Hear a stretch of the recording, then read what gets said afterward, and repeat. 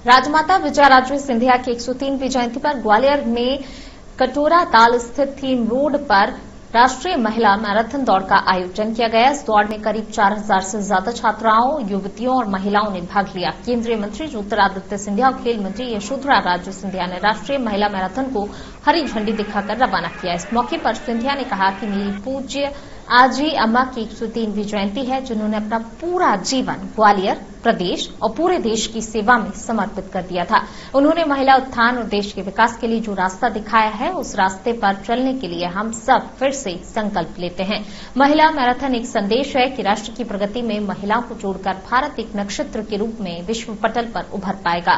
कार्यक्रम में कैबिनेट मंत्री तुलसीराम सिलावट, मंत्री प्रद्युम्न सिंह तोमर, बीच निगम के अध्यक्ष मुन्नालाल गोयल, पूर्व राज्यसभा सांसद माया सिंह ज्ञानेन्द्र सिंह पूर्व महापौर समीक्षा गुप्ता सहित शहर के गणमान्य लोग मौजूद रहे। उपस्थित हैं हम आपका स्वागत करते हैं अभिनंदन करते हैं।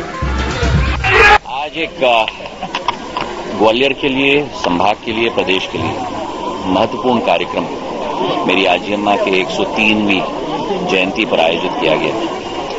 उन्होंने जो अपना पूरा जीवन संघर्ष सेवा और समर्पित भाव के साथ देश के लिए अर्पित किया। आज उनकी याद में जो ये कार्यक्रम मैराथन का आयोजित किया गया है, महिला सशक्तिकरण का, देश की सशक्तिकरण का। निसंदेह, ग्वालियर में खेलों का विस्तार और विकास हो। इसके लिए ग्वालियर के खेल मंत्री आदरणीय श्रीमती यशोधरा सिंधिया जी द्वारा छह वर्षों से लगातार ये राष्ट्रीय महिला मैराथन कराई जाती है, जिसमें कि संपूर्ण भारत से बच्चियाँ भाग लेती हैं। दो लाख रुपए की नगद पुरस्कार हम लोग देते हैं, साथ ही नमक नगर निगम द्वारा हमें साइकिलें प्रदान की जाती हैं।